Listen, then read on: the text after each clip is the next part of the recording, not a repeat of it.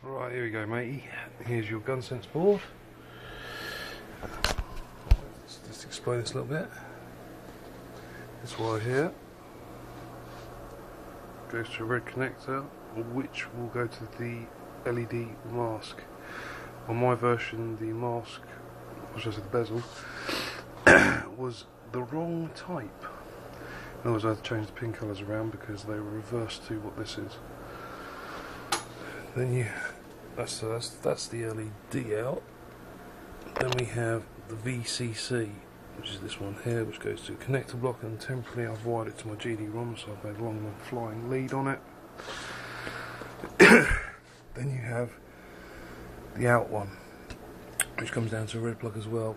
I managed to cut, uh, well, hack a plug off my plug off my old guns to make into my split into my quick connect system.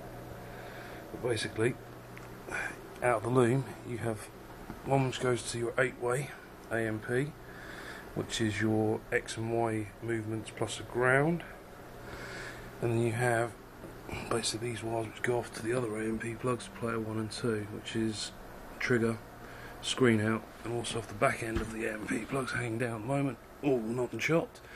Our player one start negatives, then player two start negatives and positives. And it's as simple as that. Hope this helps me. I'll send it over now.